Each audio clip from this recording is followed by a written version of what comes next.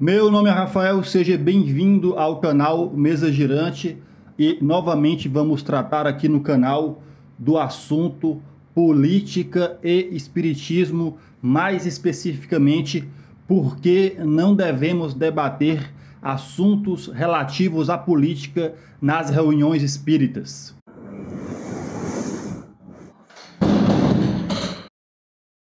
Nós já temos outros vídeos aqui no canal falando desse assunto, entrando aqui nesse mérito do porquê não tratarmos de política nas reuniões espíritas, nos espaços espíritas. E é muito comum, mais de uma vez, chega alguém nos comentários e diz assim: Ah, Rafael, a política é muito importante porque é um tema que diz respeito à sociedade, o bem-estar das pessoas os espíritas não podem se isentar desse debate, tendo em vista os benefícios que essa discussão causa. Porque, para o bem da sociedade, nós espíritas temos que debater a questão política. Esse é um argumento muito comum que aparece aqui na caixa de comentário. E sempre que eu posso, eu faço questão de responder eu tenho dito lá que o tema política não faz parte, não pertence ao escopo de estudo do Espiritismo. E essa minha afirmação se baseia na definição de Allan Kardec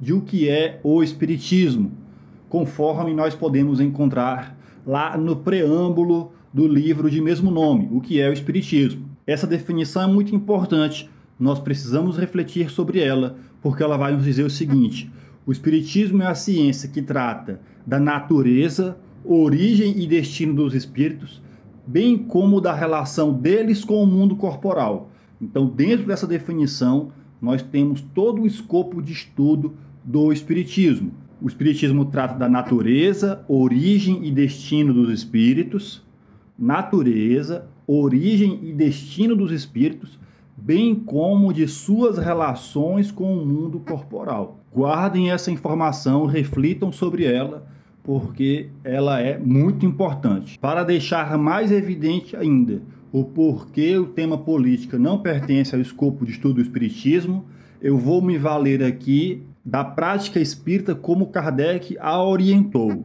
Isso quer dizer o quê? Que a prática que nós encontramos hoje aqui no Brasil infelizmente, ela se distanciou muito da orientação original de Allan Kardec. Por que, é que eu estou dizendo isso?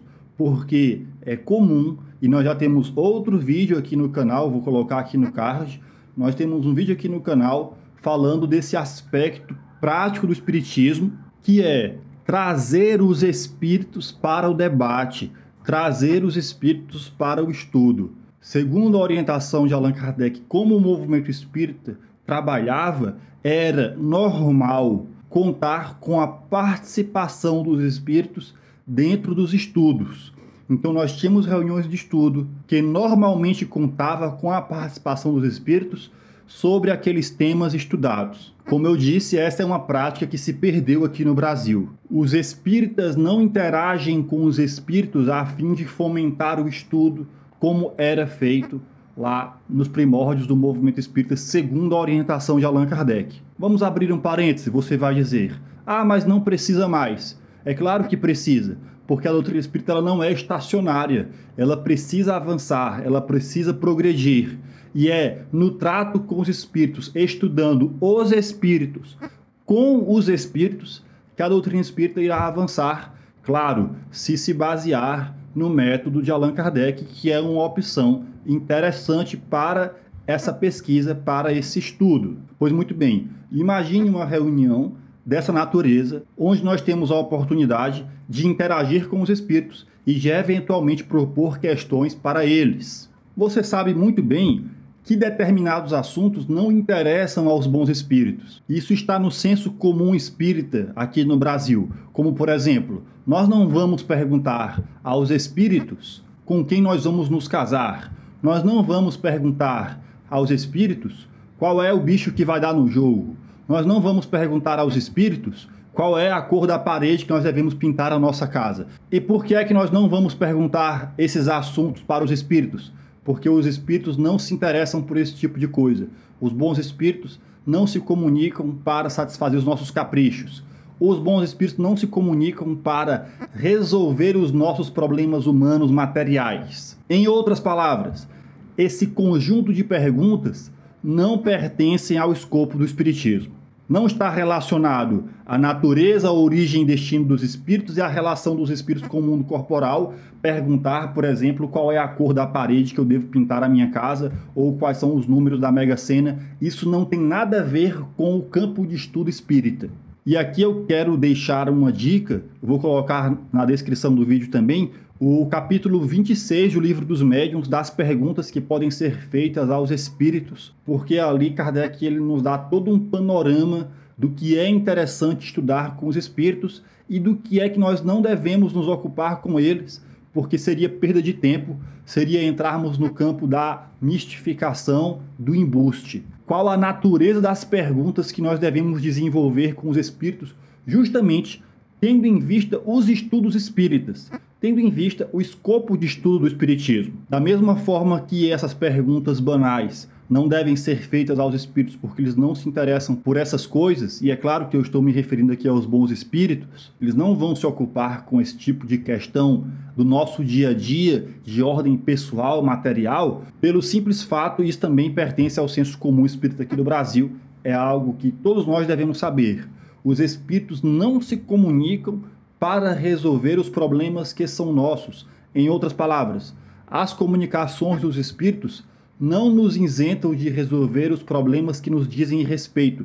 Eles não vão fazer por nós o que é da nossa alçada, o que diz respeito à vida humana terrestre e material. Os espíritos não estão à nossa disposição para nos deixar de braços cruzados. Certas questões relativas à vida humana, relativas ao progresso humano, é da alçada da humanidade terrestre e os espíritos não vão nos poupar desse trabalho. É claro que isso inclui também as questões de ordem científica. Nós não vamos propor aos espíritos questões que digam respeito ao desenvolvimento da nossa ciência, porque eles não se comunicam para nos poupar desse trabalho. Ora, nesse mesmo sentido, por exemplo, nós não iríamos perguntar aos espíritos, pegando aqui um tema atual, qual é a vacina do coronavírus. E eu poderia me valer da mesma justificativa de quem chega aqui nos comentários alegando que nós precisamos discutir a política, porque a política é para o bem-estar das pessoas, para o progresso da sociedade. Eu poderia me valer da mesma justificativa para dizer: vamos perguntar aos espíritos qual é a vacina do coronavírus, porque afinal de contas é para salvar as pessoas, é para tirar as pessoas do sofrimento, para evitar que as pessoas morram, enfim, para o bem-estar da sociedade, já que essa quase pandemia ela está prejudicando a sociedade, está causando um, transtorno muito grande para todos nós. Então, nessa mesma linha de raciocínio, não faria sentido perguntarmos aos espíritos qual é a vacina do coronavírus? E nós não vamos perguntar, porque nós sabemos que os espíritos não se ocupam com essas questões, eles não estão à nossa disposição para resolver os problemas que dizem respeito à humanidade terrestre em si e às dificuldades que nós enfrentamos. Eles não se comunicam para nos poupar do trabalho que é nosso. E já apareceu alguém nos comentários falando assim: Ah, Rafael, mas para além da questão político-partidária, a política é uma ciência e, enquanto tal, deve ser estudada pelos espíritas. Se nós colocarmos a coisa dessa forma, nós entramos no mesmo mérito, por exemplo, da questão da biologia, já que nós não vamos entrar em contato com os espíritos para perguntar a eles a vacina do coronavírus, nós também não vamos perguntar para os espíritos qual é o melhor sistema econômico, qual a melhor forma de organizar a sociedade, qual é a melhor ideologia política, capitalismo, comunismo, etc., socialismo. Nós não vamos entrar nessas questões com eles pela mesma razão, eles não vão nos poupar do trabalho que é o nosso, levando em conta esse aspecto maior, mais amplo, de que a política também é uma ciência. Por esse aspecto, nós temos que pensar que os espíritos não vão nos ajudar a avançar em temas que, por serem justamente científicos, eles não vão nos poupar do trabalho da ciência humana, que a ciência humana precisa desenvolver.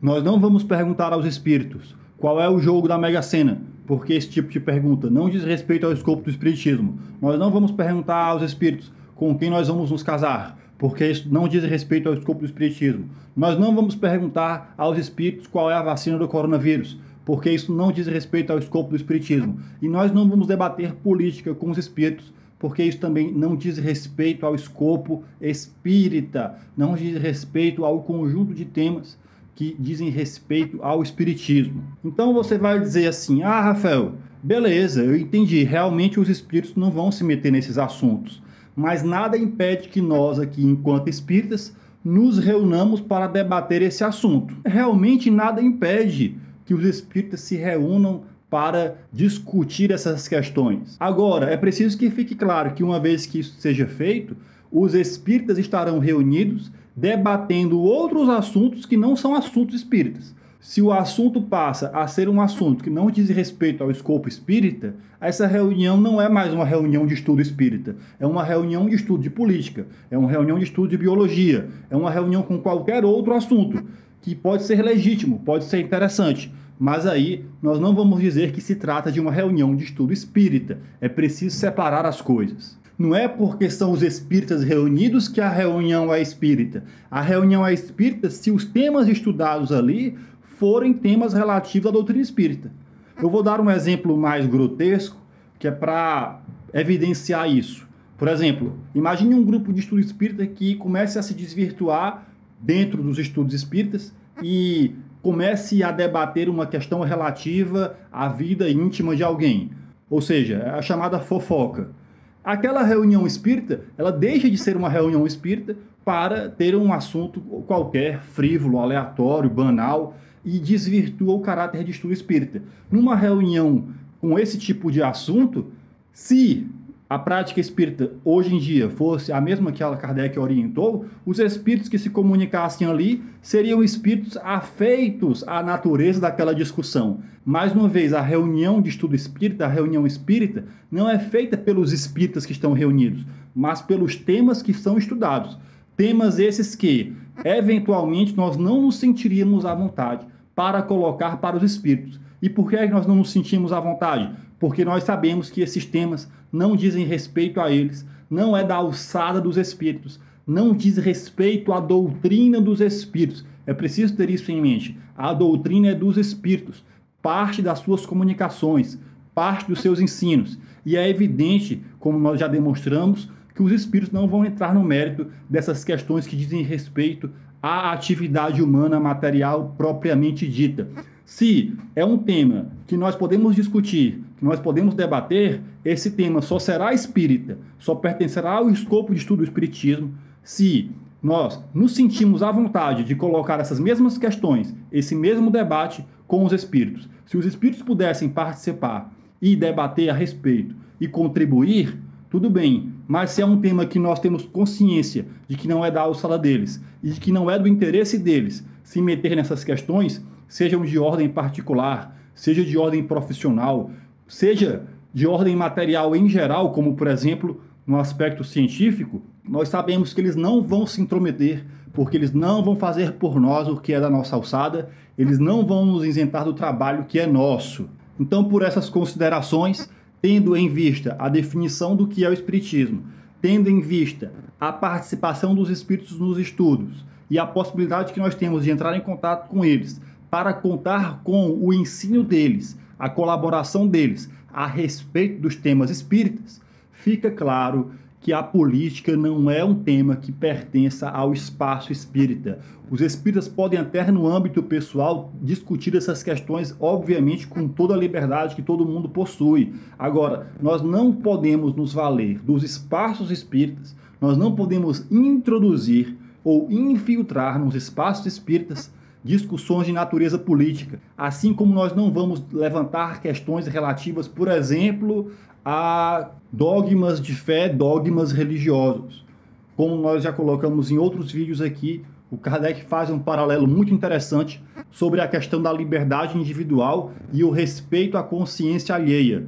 Propor questões dessa natureza é constranger o que pensa diferente, é constranger aquele que tem preferências outras diferentes da nossa. E Allan Kardec deixa evidente num outro texto que eu pretendo colocar um vídeo logo mais, ele deixa evidente que o espiritismo busca exatamente eliminar os antagonismos, apresentando a doutrina espírita como um terreno neutro no qual todos podemos dar as mãos, apesar dos diferentes pontos de vista, apesar das diferentes opiniões, podemos nos dar as mãos em torno dos princípios espíritas que nos ligam por uma questão íntima, por uma questão de fundo, mas esse é assunto para um outro vídeo. Então é isso por enquanto, beleza? Valeu!